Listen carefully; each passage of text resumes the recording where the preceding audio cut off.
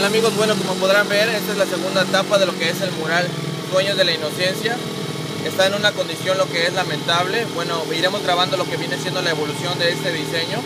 Posteriormente les vamos a ir mostrando cápsulas de lo que viene siendo el proyecto.